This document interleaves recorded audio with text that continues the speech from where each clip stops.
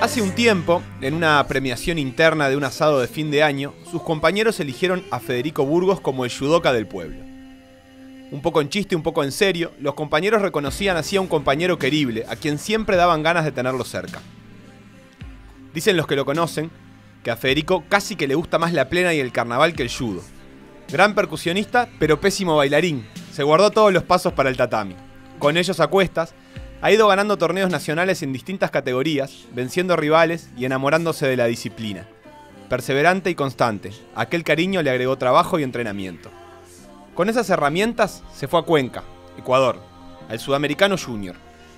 Allá redondeó un gran torneo que le permitió llegar a la final, donde finalmente perdió con el local, Edison Bieber. Ahora sigue siendo el judoka del pueblo, pero con una medalla de plata rebotando en el pecho.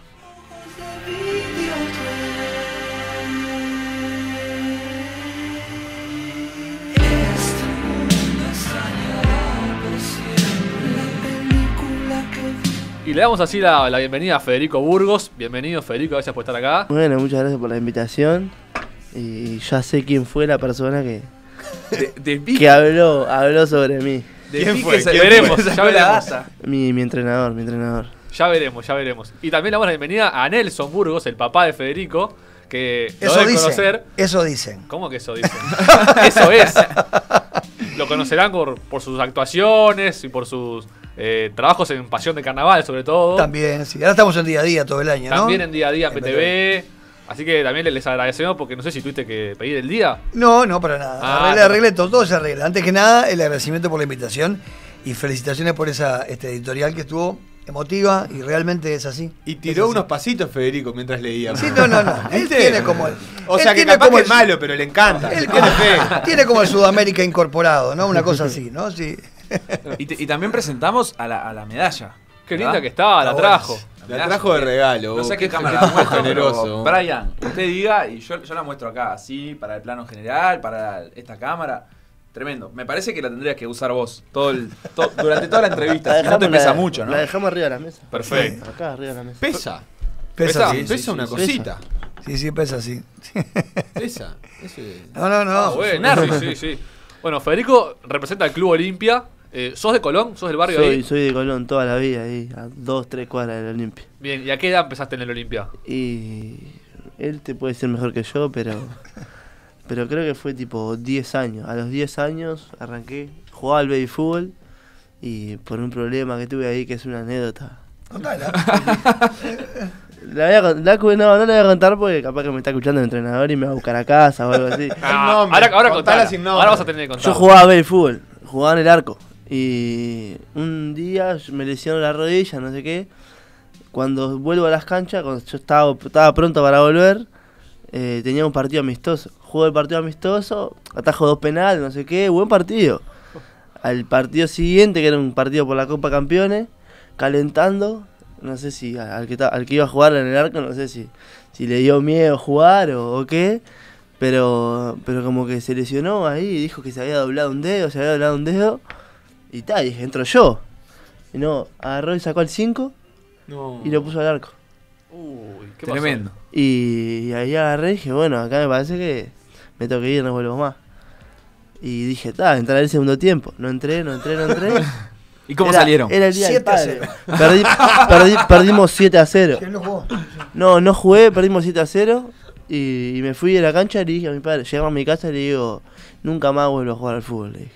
O sea que fue, en serio, era una anécdota, pero es uno de los días tristes, esas cosas que a vos te marcan. Porque yo me acuerdo que tenía una fiesta, un evento, y salí como el loco en el auto eh, para jugar porque jugaba, porque, había vuelto y andaba bien. Era, era- era- muy bueno. Y este muchacho, este. El pato. que era- que Le dije el nombre, el pato. Se sacó la gana. Le erró, ¿viste? Le erró. Y aparte los padres que estábamos ahí, ¿viste que el babyfútbol es típico de, ¿no? ¿Qué hace? eh? Puso al, al volante central, que además era muy buen jugador. No puso a uno Claro, cualquiera. Perdió un baluarte. Perdió un baluarte, en, la- en serio, un volante de mitad de la cancha, un 5, un gurí de 12 años, que era una cosa la hacía chiquita. Lo puso en el arco, lo dejó. Para mí que estaba todo arreglado con el Club Olimpia, que ya lo, le había visto condiciones para el judo y dijo, no, no, a este lo tenés, No. que, lo tenés que hacer dejar el fútbol y que no quiera volver nunca O sea más. que era el día del padre. Nunca más, dijo, no vengo nunca más. Lo- no, no, no. y, Vos, lo, sí. y lo vinieron, lo vinieron a buscar dos o tres veces, pues. Pero no, no. Y después cuando arrancaste en Olimpia, eh, que es un club con un montón de disciplinas y un universo enorme para elegir, eh, ¿enseguida te decantaste por el judo o empezaste haciendo otras cosas? Y no, al principio hacía judo y hacía alguna tipo natación o básquetbol, cosas así. Pero siempre terminé, descar- terminé descartando, descartando, descartando. Y me dijeron para, para empezar a competir en- por judo. ¿Y, y que era una cuestión de, bueno, soy bueno para esto, sigo en lo que soy bueno? no, era una cuestión de. no, no sé si, si era bueno porque era chico para, para darte cuenta, aparte era muy nuevo. Eh, pero no sé, me gustó y, y le di para adelante y seguí. Bien. ¿Vos, Nelson, tenés eh, algún pasaje, algún pasado deportivo? ¿Por qué, por qué salió tan Eh, Federico? sí, jugaba a las bochas. No, yo jugué al fútbol, jugué en Sudamérica, jugué en Miramar, jugué en la selección de Canelones. Ah, Opa. nivel, no, teníamos ese dato. Sí, sí. Jugué mucho en el interior también. Este, en su momento, este, en, el- en, Ol- en- en Ferrocarrilero, en el cuadro de Golmo de la Liga Regional del Este. Este, jugué mucho en el interior. Hice selección juvenil de Canelones y jugué al fútbol hace años. o sea, siempre que puedo. ¿De Ahora me queda algún, algún partido en el medio del año y después el partido de las estrellas que voy siempre a jugar.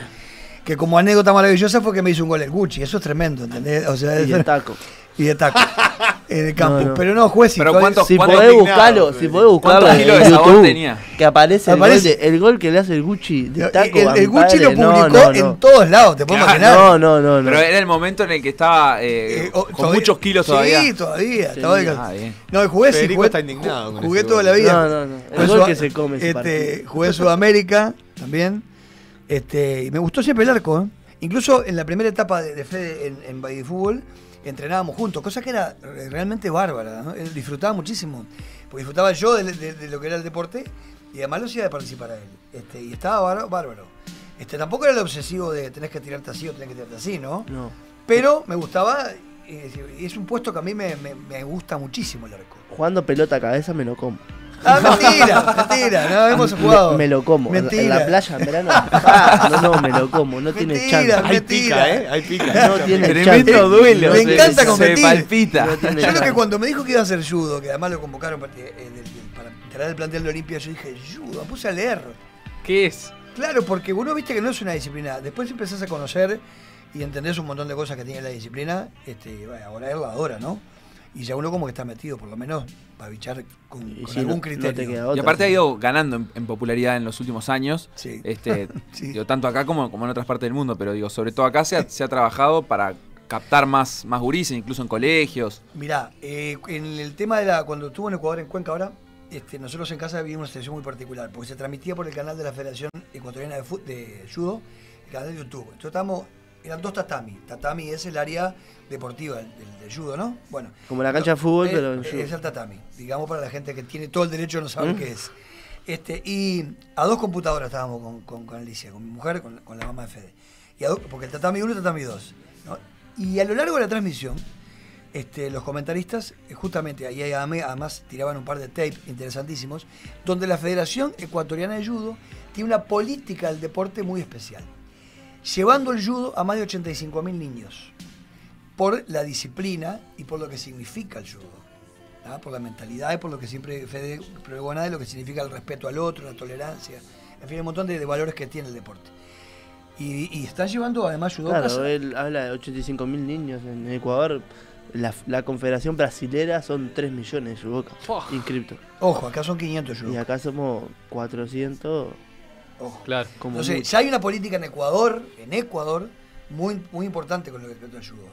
Acá no hay que olvidarse, ahora, ahora estamos trabajando en Olimpia para que vayan las gurises sub, sub 2, eh, sub 3, ¿no? Sub 13, sub 15. que tienen un sudamericano, pero nosotros acá para que Fede fuera, para que Fede, Tamara García y Agustín sí. Durán y el preparador físico, el Leandro, fueran, tuvimos que hacer un festival, este río, no sé qué, y además poner plata, ¿no? Porque la federación te ayuda, mínimamente. O sea, apoyos hay. Hay- Apoyos hay. Antes no, no había nada. Y ahora Claro. Hay por más lo que menos antes. están surgiendo los apoyos. ¿no? Seguro. Lo, lo interesante de esto que me parece que está, exacto, esa es la definición clara, que están surgiendo los apoyos, pero se hace muy costoso. Claro. ¿Y cómo es el, el día a día de judo? Vos fuiste ahora al campeonato internacional, el año pasado ya había sido a uno, eh, pero semana a semana, ¿cómo es eh, el día a día de judo? ¿Tienen competencias habitualmente o cómo es? Y a- acá en Uruguay son cinco co- torneos al año.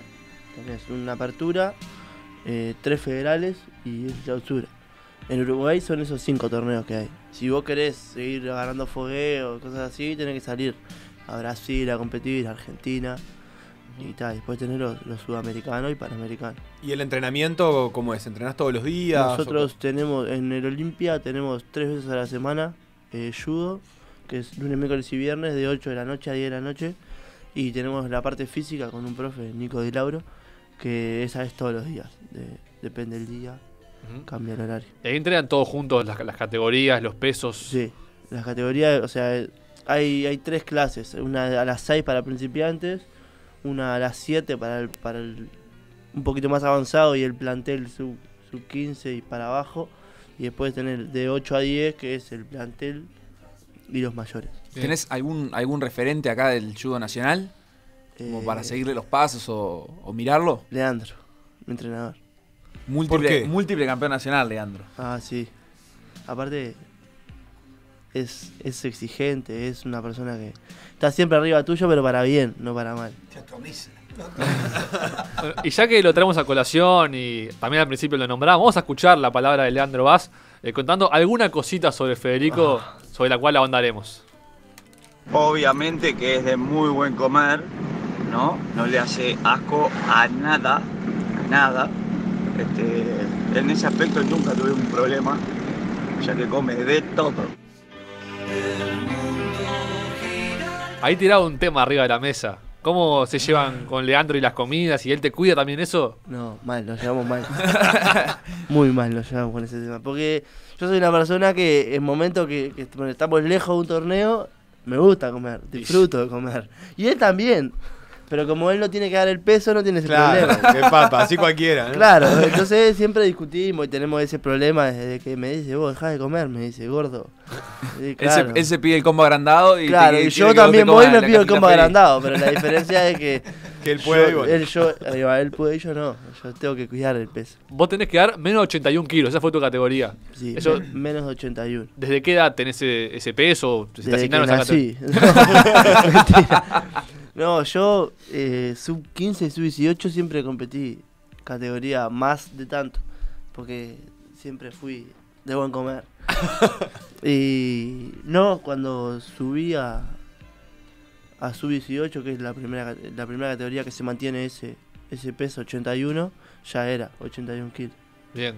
¿Y cómo es tu, tu categoría en cuanto a, a nivel de exigencia? ¿Hay categorías como más cargadas de No, claro, vos competidores? y- tenés. O sea, es- acá en Uruguay hay, somos pocos 81. Y está, y ponele, a nivel internacional también. Las, las categorías más livianas son las que hay más gente. 66, 60, hay muchos, muchos, muchos competidores. Igual hay categorías más pesadas, hay categorías 90, 100. Tenés, eh, son, las categorías son ses- hasta 60, hasta 66, hasta 73, 81, 90, 100 y más de 100. Bien. Cuando fuiste a Ecuador, a Cuenca, ¿con, ¿con quién te cruzaste y cómo eran físicamente? Eh, me crucé. Las tres luchas que tuve fueron tres con ecuatorianos. Éramos 12 en la categoría. Era por llaves y por eliminación. Eh, éramos 12 y tuve tres luchas con tres ecuatorianos distintos. Y de- lo que tiene la categoría esta es que son- la, la mayoría son me, sacan una cabeza. Ah, mirá, son mucho más altos. Una cabeza o, o de mi altura un poquito más alto, pero ninguno más bajo. Yo siempre que competimos soy el más bajo de la categoría. ¿Y eso para vos es ventaja o desventaja? Y depende cómo lo mires. Eh, depende de la lucha, cómo la plantees. ¿Y Eh, en qué puede ser una ventaja? ¿Cómo puedes aprovechar eso? Ser más bajo, Sí. que te pueden meter abajo más, mejor. O sea, pero tenés la desventaja de que el otro te puede controlar de arriba. Eh, es Depende de cómo se plantee la lucha. ¿Cómo, eso. ¿Cómo te preparás anímicamente para pararte en un tatami? Cinco minutos, saber que, que, no sé, que a los dos, tres minutos vos puedes estar ganando o también te pueden estar eh, sujetando por sumisión a punto de luxarte un codo. Es como que se piensa todo eso antes de salir a, a pelear. No, vos en realidad lo que haces es cuando. yo ponele, le voy a contar la, la- el sudamericano que me quedo con, con Agustín, que era mi compañero de habitación. Me levanto, el, el día que yo competía, me levanto, me apronto el bolso, me dejo todo pronto, bajamos a desayunar, subimos y teníamos un rato para descansar antes de ir a calentar. Entonces, estaba, con música en la habitación y arranqué a caminar de un lado al otro así. Estaba ansioso, ansioso, ansioso, ansioso. Y me dice, vos, Burgo, ¿tenés miedo? y lo que me le digo, no, no, estoy ansioso, le digo. Y caminaba y caminaba. En realidad vos no pensás en, en, en que te podés comer, te pueden ganar en, en 10 segundos. Vos entrás diciendo, voy a dejar todo y si puedo me lo como. Y te levantás con esa mentalidad, es ya. Por ejemplo, en natación, vos ves que, que los nadadores se activan, se, se tiran agua, se pegan en el pecho, y como que van activando. Ah, ¿Hay sí. alguna rutina similar así en, en judo Y- para Y activarse? también eso es, es depende de cada uno. Alguno, ponele, hay un, tenemos un compañero que, que le dice, pegame. Claro, vos decís, estás loco. Una, una cacheta- El padre siempre que va a entrar a competir, pum, le pega una cachetada. Como Timoteo Leandro. Leandro te pega así en la espalda. Mm, unos cosas en la cara, sí, pero eh, depende de cada uno. Hay gente que no le gusta que, le- que se peguen o, o pegarse, pero hay gente que sí, que como que te despierta. Claro. ¿Y cómo se viven, Nelson, la- las peleas de judo desde la tribuna? Que vos- ahí se, se puede gritar. Es que yo a veces me controlo, porque yo para mí soy medio barra brava, ¿entendés? Entonces, y el judo, aunque últimamente hay un par de clubes que están medio zafados. Pero este, sí, yo lo digo con mucho nervio, ¿no? Porque además hay cosas que, eh, algunos, este, algunas penalizaciones que todavía me queda eh, complicado definirlas, porque el judo también tiene eso medio de subjetivo. No sabés si puedes putear el juez o no todavía. no, en realidad, por ejemplo, yo no me he dado el, el otro día que perdí, pierdo una pelea en, en la categoría libre de peso, porque él también compite acá libre de peso, donde le puede tocar cualquiera de 200 kilos, no importa. Claro. Y peleé justo, eh, tenía chance de medalla, pero perdió una pelea que a mí- para mí había sido Ipón, o sea, lo que es nocao en el boxeo, Ipón, donde el, el competidor adversario lo depositas de espalda, ¿no? pero ¿qué pasó? Él me dice, no, pero papá, y lo que pasa es que el juez antes dio maté. Yo me quedé pensando. ¿Qué era eso? Entonces agarró- maté era que había parado la lucha porque ya estaban fuera del tatami. Claro. Si el loco demora 5 segundos más, había ganado por Ipón. Entonces, eso es medio subjetivo también. el juez en el judo te puede ir perfilando también, ¿eh? Ajá, en la cortita. No, cayó de costado, no, no cayó tanto de costado, no cayó de, o sea, es, es complicado este el judo.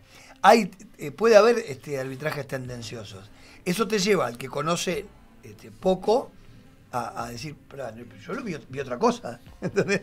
Claro. Y ahí me pongo nervioso. así, Y ¿no? vos que, que- que no venís del palo del judo, digamos que no estás tan acostumbrado con el tema de lesiones y golpes y eso, No. te- en algún momento te pasó algo decir, pa, este loco tiene No, 13 yo- años. no, la, tengo palo". clara esa que la tengo clara.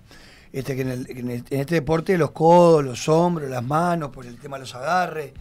Ahora tenemos por suerte la- el, el doctor Eliano de Esquebone, que nos da una mano.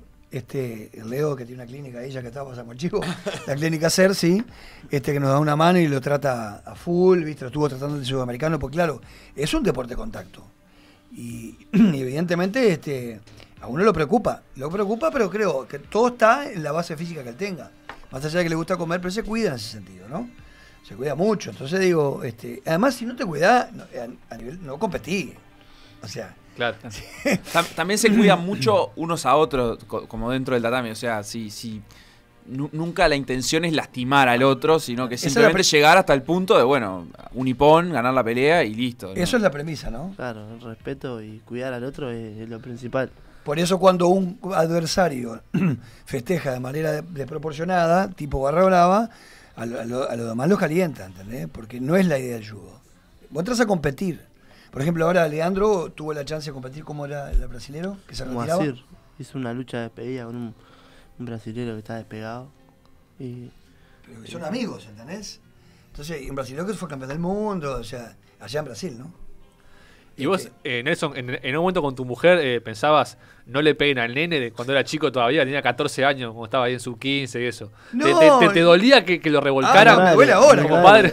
Pero me duele ahora, tengo ganas de fibrado a mi mujer más mi todavía. madre, mi madre me decía, ay no.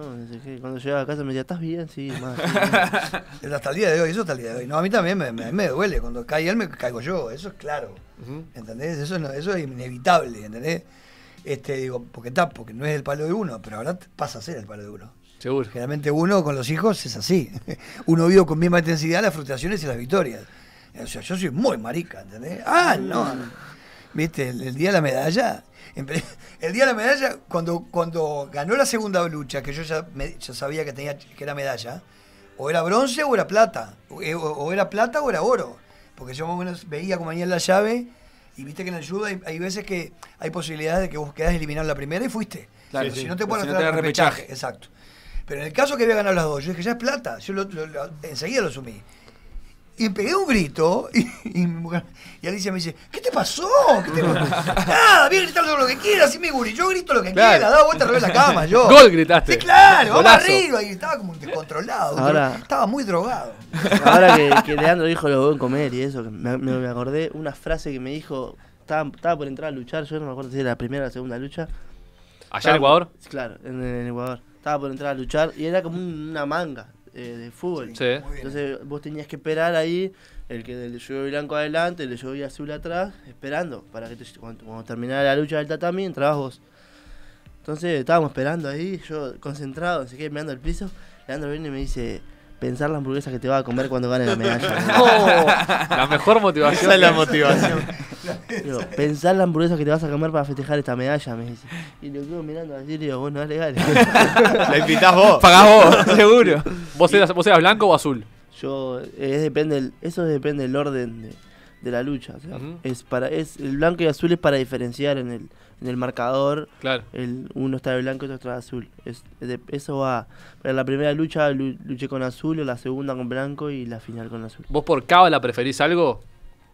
No, siempre tengo un judo preferido en el momento de, tipo cuando, cuando, porque yo eh, casi siempre pido un judo para, para las competencias, porque o, o el que tengo no está dentro de las reglas, o entonces pido un judo y siempre cuando tengo los dos veo cuál es el, el que, el que me queda mejor, y lo- eh, con el que me siento mejor, entonces ese es el que el preferido en el torneo, Claro. pero no, no lo decido yo eso. Y- eso. ¿Y esta medalla qué significa en tu carrera? Porque marca un hito y proyecta algo para adelante.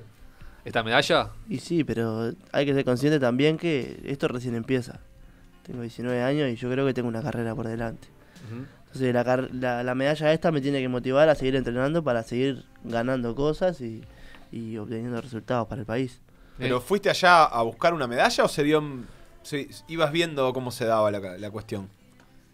Buscando la, no sé si fuimos buscando la medalla. O sea, nosotros cuando estábamos acá hicimos todo lo posible para llegar lo mejor preparados a ese sudamericano. Y cuando llegamos vimos que con el cordero de las luchas, cuando quise acordar estaba la final. Y tenía la medalla. Y otra frase que me dijo Leandro antes, antes, antes de entrar a, a luchar, me dijo, no te conformes y anda por la de oro, me dice. Ta, entré, entré, entré por la, a ganarla, pero era muy fuerte el ecuatoriano, muy fuerte, muy fuerte. Un motivador, Leandro. Gran tirador de frases. Vamos a, a volver a escucharlo porque ahora vamos a hacer un cortecito, vamos a hablar un poco de música, de carnaval. Entonces lo, lo introducimos con la palabra de Leandro Vaz. muchacho al que le gusta mucho, mucho, mucho, mucho. Primero que nada, la plena, mucha plena arriba, mucha plena.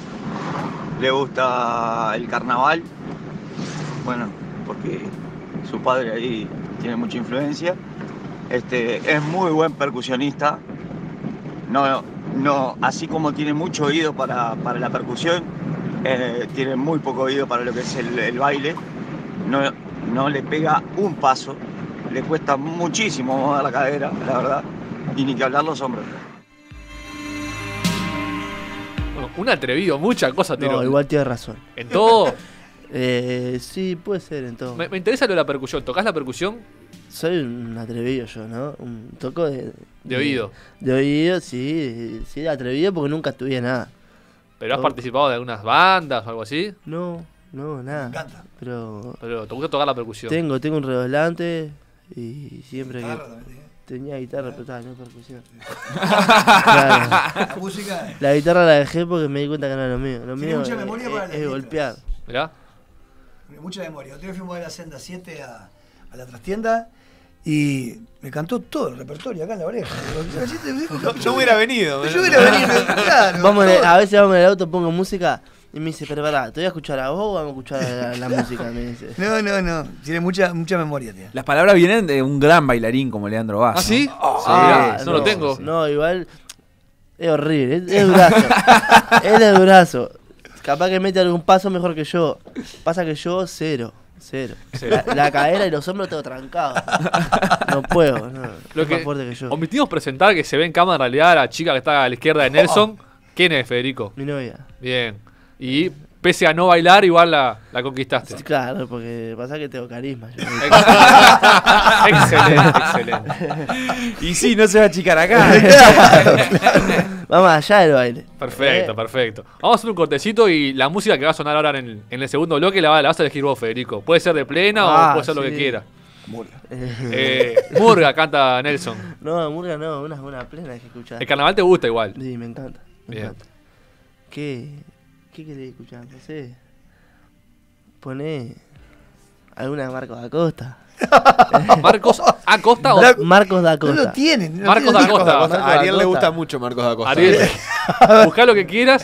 ¿Vos sabés lo que es eso, Nelson? Pasa que Marcos las, Acosta. le- las letras no sé si se pueden Sí, escuchar. Ay, no sé. Se No, puede. Y si no, ponemos la trasnochada. Ah, se claro, puede. sí, Se va a escuchar la trasnochada. Se puede todo. La trasnochada. Eso es lo más fácil. Esto que está sonando, ¿qué es? Marcos da Costa. Que suene Marcos, que suene un poquito de Marcos y ya volvemos.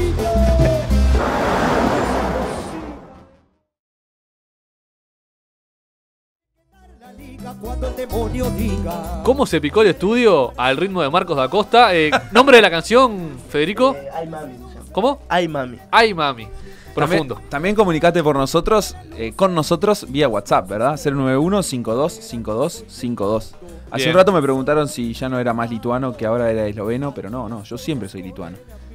Sí, sí, hasta octavos de final, ¿no? Que es hasta donde. hasta Perdimos, donde ¿qué le, perdimos, ¿qué le vamos a hacer? este Pero ta, no distraigamos con otros Sí, temas. saludos a la gente que también por Facebook marca su, su aprobación, como Mat- Matío Alves, Nacho Tempone, Martín Fernández, Pablo Apramián. Nacho Tempo. Nacho te pone a decirle que no, hay que decirle que no, no pagó el ticket del asado el otro día que hicimos en casa. Opa. Nacho Tempano, sí, sí, sí. Hablando de asados, eso que contaba Sebastián al principio de todo, que fuiste el judoka del pueblo. Te- Ah. ¿El judoka del, del pueblo del Olimpia te eligió la gente? Sí, fue una votación que se hizo. A fin de año, en la comida de fin de año se votaba. El, el, el judoka- habían tres premios. Era el judoka del pueblo, el judoka revelación y no me acuerdo cuál era el otro. Nos perdió compañero, ¿no? Claro. Y se votaba entre los compañeros. Y tal, y hice una campaña, no, mentira. No, eh, Invertiste en la campaña. eh, Colgué afiche. en el bolso. Vóteme. Fe, Fe Burgos llegó al pueblo, no. No, no, pero está, salió ahí cuando, cuando hicieron el conteo de votos, salió ahí que era el Yudoka al pueblo. ¿Y hubo diploma o algo? Hubo un, Trofeo. un trofeito así que dice Yudoka al pueblo, no sé qué. Y por ejemplo, en el sudamericano hubo como un desfile inaugural o algo, o algo similar. Sí, hay, siempre hay un... ¿Y hay abanderado? No, no hay abanderado. O sea, Se van dos, dos o te piden tres, cuatro, por, mínimo cuatro por delegación. Bien. Entre Antes, los oyentes está Felipe Fernández sí, también. que Que, yo lo, lo quería citar, antes de, de- de meternos en el, en el cuestionario, que van a competir por un trofeo eh, muy importante, eh, no es broma, eh, le preguntamos a Nelson, de parte de Felipe Fernández, eh, integrante de PDA a la distancia, que cuente la ida al carnaval de Bella Unión, donde compartieron habitación con Felipe y particularmente la vista a la habitación. No, no, yo, yo, yo, claro, es un lugar que seguramente Felipe, a quien aprovecho para saludarlo desde acá. Y que es una gran persona, Este debemos decir. Sí, bueno, sí, sí, está. Este, sí, va a ser. eh, Al aire sí. Sería un momento para discutirlo eso. Pero bueno, este, eh, claro, él vive en Europa. Eh, sí. Él es glamour. Él es glamour. Él es beach, o sea, él es beach, beach, beach fútbol, ¿entendés? Él juega al fútbol en la playa, ¿entendés? Juega en un equipo de quinta de Austria, ¿entendés? Vive en Austria, vive en Sí. Viena, muchachos. ¿Entendés? Va a comer, eh, va a comer Va a comer empanadas de Palacio. traje. Este- Eso lo contó acá. este- Va de este- traje a comer empanadas. ¿Entendés? O sea, está en Sí, otro es nivel. Pero su momento de gloria en cuanto a lo que significa el glamour, el nivel, la jerarquía estar hospedado en un hotel de primera división, así, cinco, no cinco estrellas, siete estrellas sería, fue, lo compartimos. Ahí tuvimos la suerte de estar juntos en Bella Unión. Este, carnaval de Bella Unión, este, yo fui a conducir el carnaval de Bella Unión por, por Tenfield, por BTV. Mucha escuela de samba, precioso. Sí, sí, muy lindo. Y él fue de productor mío, ¿no? Fuimos los dos juntos ahí. Nos dieron un hotel, creo que es el único hotel en Bella Unión. Y mil disculpas a la gente de Bella Unión que pueda estar escuchando, pero realmente, ¿no? Era. Nunca vi tanta cucaracha junta saltar de una cama este, a la llegada nuestra, ¿verdad? Y era el polvo Era arriba. estaban pero era pin-. Es seguro. Era un recibimiento. Era un lugar muy pintoresco y, y decíamos nosotros, pero acá no vamos a costar. Nos tiramos Es más, nos acurrucamos en la cama ¿Cama de dos plazas o Este- camas separadas? y tuvimos que hacer cama juntos. Horrible. Tuvimos, menos mal que tuvimos poco tiempo en él. El carnaval estuvo precioso. Convengamos que el carnaval con mucho esfuerzo la gente de Bella Unión lo realizó, lo realizó con un esfuerzo enorme y estuvo bueno, ¿no? Este, pero, pero realmente fue la, la anécdota de, de pegarle a la cama. Y sal- pero así literalmente. Y saltar cucarachas y polvo fue maravillosa con una vista a una pared de ladrillo muy bonita. Bien construida. que nunca supimos a dónde iba esa pared, pero vos, sea, vos venías a la ventana y decís, no es. Era de Eladio Esta 10. vista que yo tengo ahora acá, que veo el, el, el- el Palacio Taranco así, enfrente a mí, así, que veo todo, y veo el, mar, y veo todo maravilloso. Bueno, también es una pared de ladrillos. Esta- sí, no.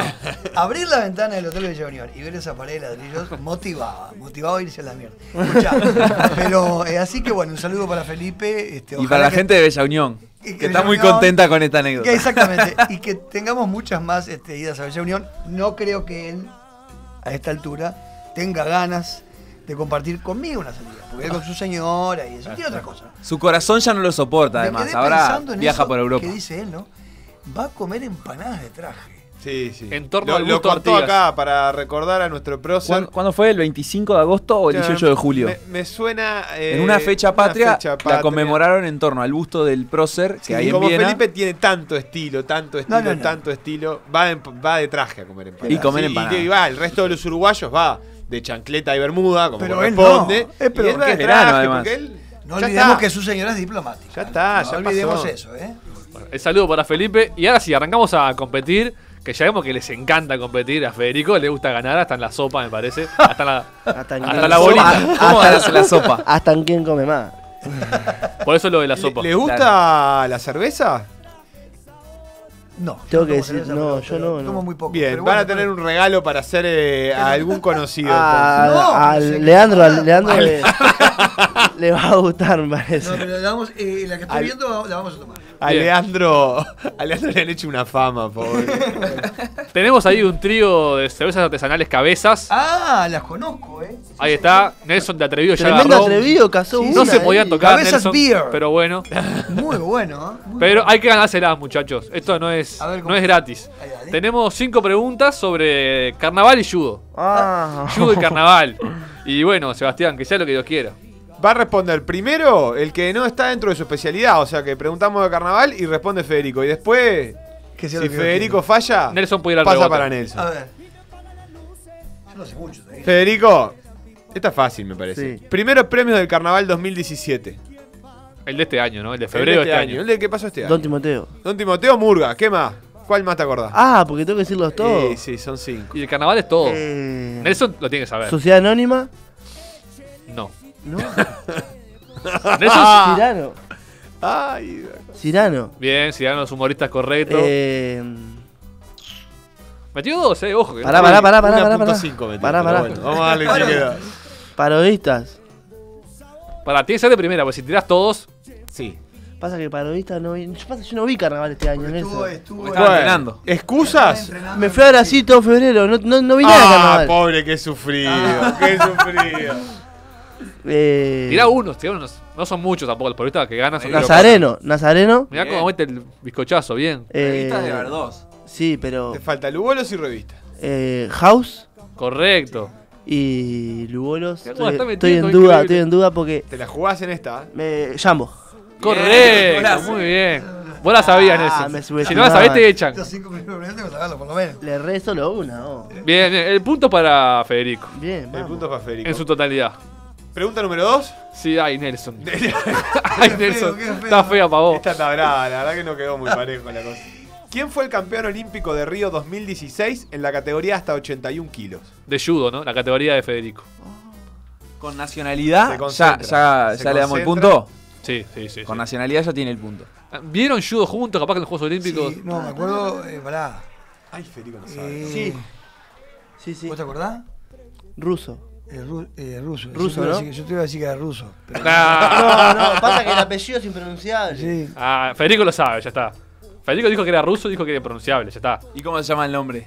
Pasa que es ruso, no le podés decir el nombre del apellido. Te lo busco si querés, pero. Ah, no sé, no, sé, no lo sé. No, no me acuerdo el Punto, apellido punto porque de son todos parecidos Sí, apellidos. Sí, el ruso Hassan Halmurzayev. Claro, mira. Hassan. Hassan. Hassan no es pronunciado. Nelson no la sabía. Para mí, punto de Federico. JJ. Punto de Federico. Punto mío. Sí, sí, sí. Mío, mío.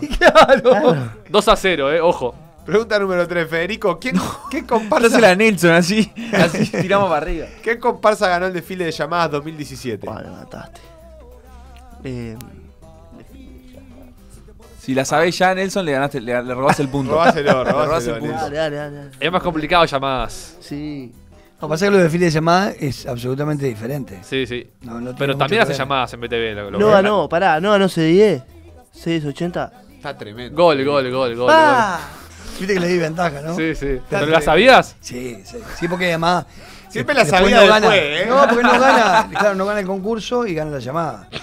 Sí, sí. Bien. Bueno, Nelson, tenés que remontar esto. Tenés una remontada No, histórica. es Por difícil. suerte la última pregunta eh, es con mucho punto Claro. de juego. Pero falta una antes que esa. Nelson, volvemos a Río 2016. Volvemos al judo. Qué necesidad. Te estamos sí. matando.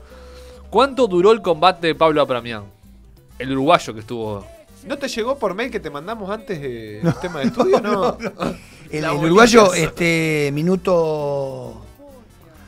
Le vamos a dar de margen más o menos 10 segundos. Para que tengas algo ahí. Este. Como máximo duran 5 minutos, ¿no? Sí, el- hasta el año pasado eran 5, ahora cambió la reglamentación y son 4. Ah, bien. Minuto 20. Federico, ¿querés eh, tirar otra cosa? Eh, Fue con un brasileño, sí, sí, Rafael con, Zacarini. Sí, sí, sé, sé con quién fue.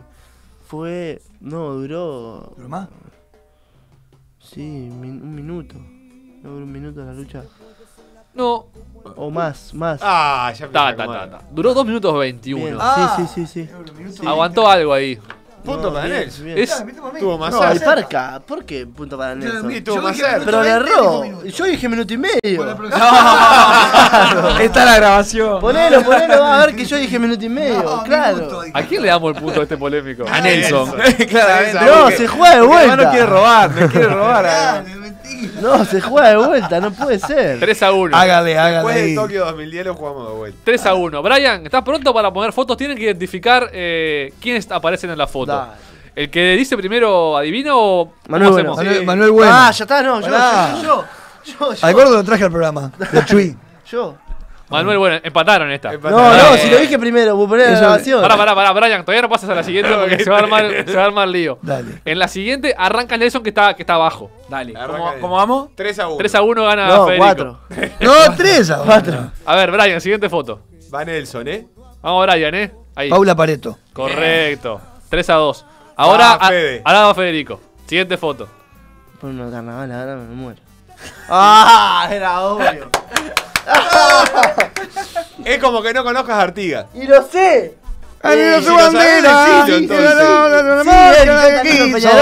¿Cómo es que se llama? ¿Son de Peñarol ambos dos? Sí, claro, sos, somos socios. Eh, Eh, Sí, sí. somos.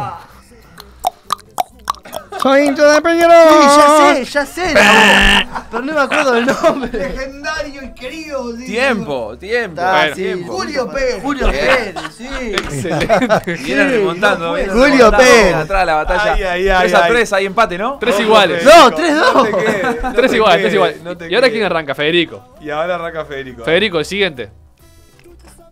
Esta va a estar a la mano, ¿eh? Ah, eso de eso. Nelson sonrió. Sí, claro. Pará. Un historia. No, no, Ahí no, lo tiene, lo tiene, lo tiene. Para los que- para los que están escuchando Es la el radio- ayudante- Es el ayudante del Cholo Simeone. Ni idea, yo de fútbol. Es familiar Este de usted. El Mono Burgos. Correcto. Ah, que no es nada de ustedes. No, No, el no, arquero, uh, arquero de River, tiempo. Bien. Es arquero y es Burgos. Sí, es cierto. ¿Qué más querés? Tuvo una banda de rock. Tengo menos fútbol arriba. Sí, tuvo una banda de rock. Pasa, pasa al frente Nelson. Pasó 4 a 3 Nelson, es increíble esto. Con, con, con la fruta por el brazo. Y- Nelson, esta es para vos, a ver si, si, a ver. si podés. Brian, siguiente foto. ¡Ah, claro! Este es de los Negroni. No, no, el nombre, el nombre, el No, nombre. no. El Américo. El nombre. ¿Tiene que ser el nombre o no? No, no, los Negroni. El Américo de ¿Vos sabés el nombre, Federico? Américo. Américo. Américo, el Ah, Negroni. Negroni, claro. Bueno, última de Fini entonces, ¿qué te parece? El que gana esta gana todo. El que gana esta gana todo. Bueno, dale. ¿quién va a responder primero? Porque esto El que a lo diga primero. Tres. Estén atentos. Y que se arme, y que se arme violencia, un conato. Ay, Brian, qué A ver, suspense. Brian. Cambiá de foto. ¡Eh, el bola se va a No hizo reír! rey. Rey.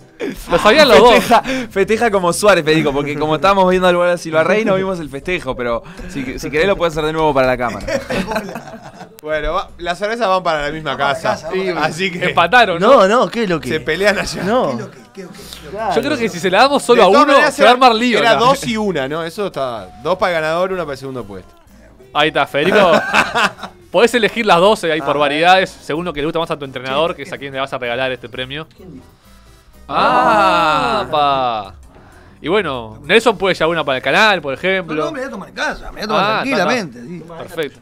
Bueno, la que Esa es sea, tuya, la que la sea. violeta. No sé, Negro, Leandro, si me estás escuchando, esta otra vez van pagó. Nos, nos dice, nos dice que está en este momento Leandro en la ceremonia de, ah, sí, en el comité. de la de despedida despedida. de la delegación que va a los Juegos Sudamericanos de la Sí, Juventud. Sí, tenemos Que él va como entrenador. Tenemos una compañera y Leandro que viaja como entrenador de la selección. Manuela. Manuela, y, o sea, va Manuela del Olimpia.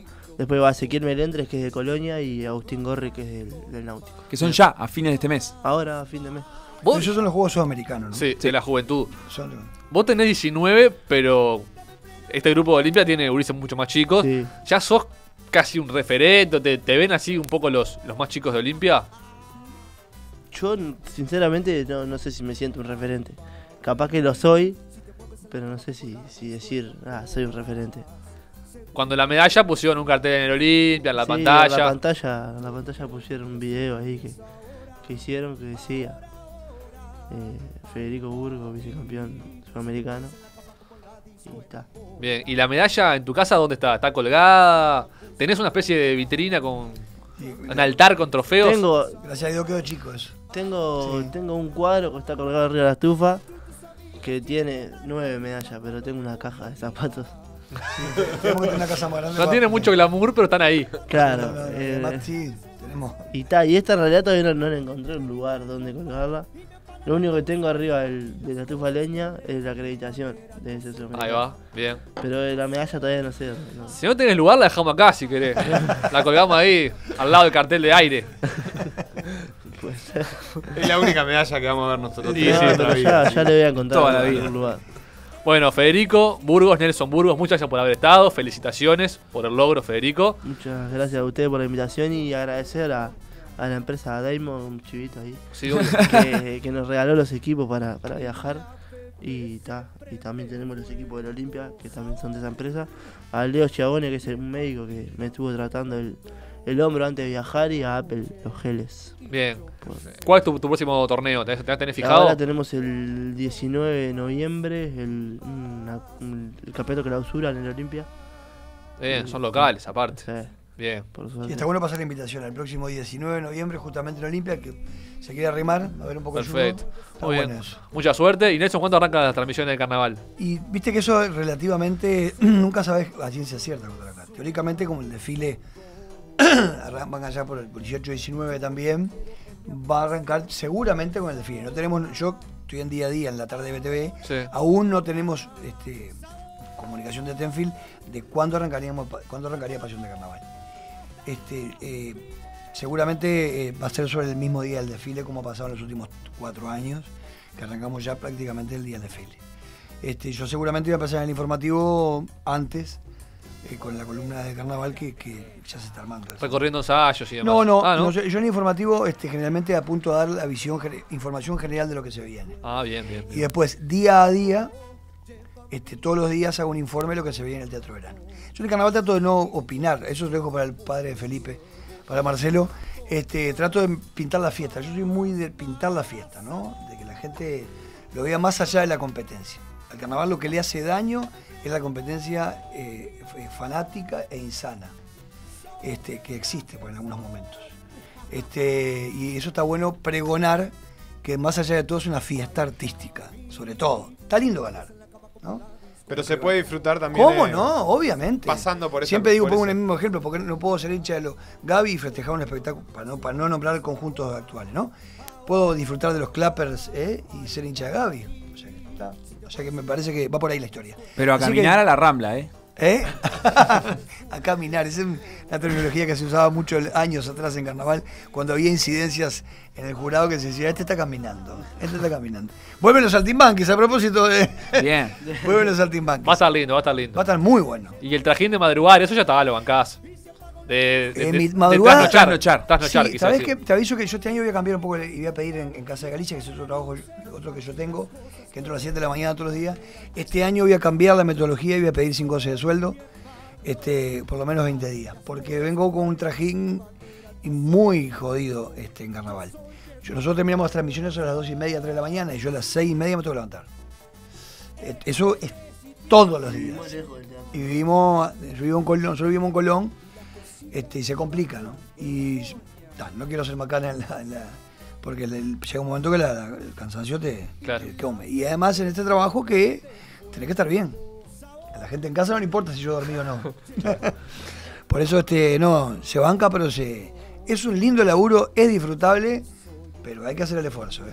No es fácil. Sueltas dos y gracias de vuelta. Dale, gracias a usted por la invitación y a seguir adelante. Dale. Ya seguimos.